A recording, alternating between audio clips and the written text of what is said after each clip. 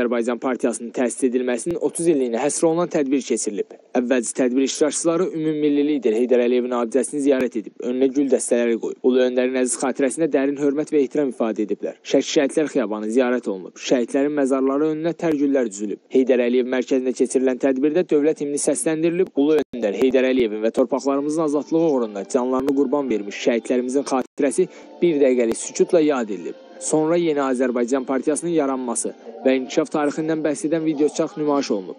Tədbirdə çıxış edən Yeni Azərbaycan Partiyasının Şəki rayon təşkilatının sədri Daşqın Mikailov partiyanın yaranma tarixindən, keçdiyi şərəfli yoldan, gələcək hədəflərindən danışıb. O bildirib ki, Yeni Azərbaycan Partiyası tarixdə çox nadir siyasi təşkilatlardan biri hesab oluna bilər.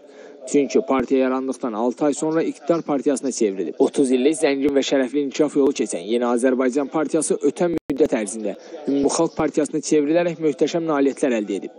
Tədbirdə çıxış edənlər bildirib ki, Heydər Əliyevin rəhbərliyi və ideyaları əsasında qurulan Yeni Azərbaycan Partiyasının 30 illik inkişaf tarixi göstərdi ki, partiyanı yaradanlar bu partiyanın təməl daşını qoyanlı yeni müstəqil dövlətimizin siyasi, iqtisadi, sosial mədəni inkişafının istiqamətini müəyyən etməklə öz seçimlərində yanılmayıblar.